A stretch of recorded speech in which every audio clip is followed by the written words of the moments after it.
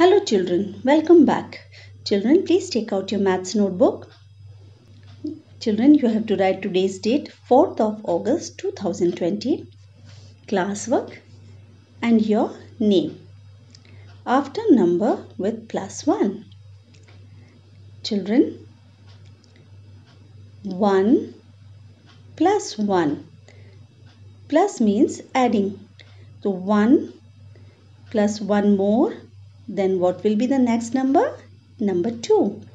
3 plus 1 more. Then what will be the after number?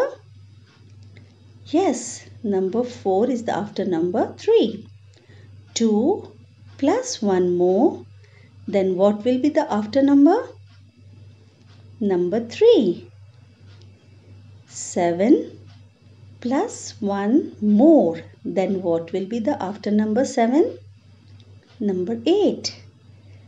9 plus 1 more. Then what will be the after number 9?